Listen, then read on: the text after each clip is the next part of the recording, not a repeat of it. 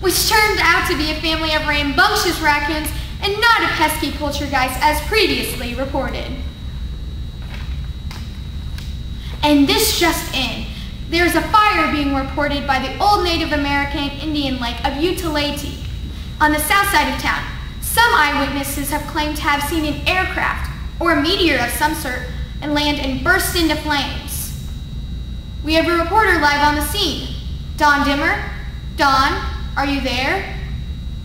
Nora, Nora, can you hear me? This is Don Dimmer reporting at somewhere where there's supposed to be a fire, but I can't see anything. Don, are you at Lake Utilati? Lake? I was supposed to report at a lake? Don, where exactly are you? Oh, I've just made a bit of a mistake. I'll just check in with you in a bit.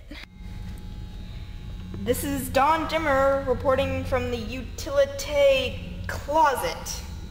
We apologize for the confusion. It seems we do have a reporter on the scene of some sort of crash at Lake Utilati. Sandy Slowett. Sandy, are you there?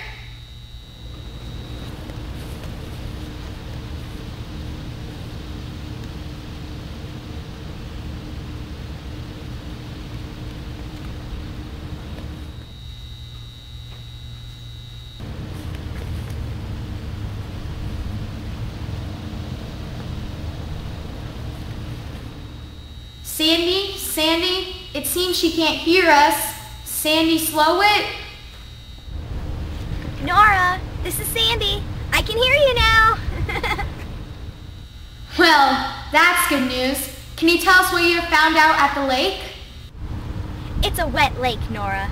A wet lake with fire coming from the bottom. A wet fire, Nora.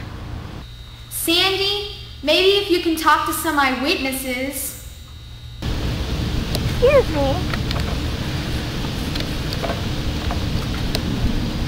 Could you tell me what happened today? Oh, well, it was raining.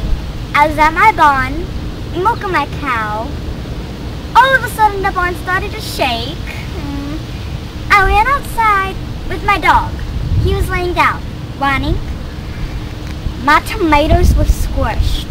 It was horrible. Um, I took oh, well, me and my dog, we started running after the big turquoise spaceship. Uh, hmm. Well, yeah, yeah, yeah. Okay. And then I saw an alien coming out of it. It was big. The alien was humongous. Interesting. Back to you, Nora.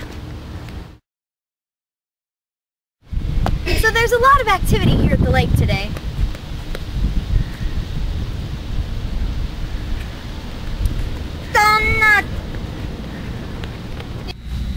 Sandy, I think that person, that thing, might just be an alien.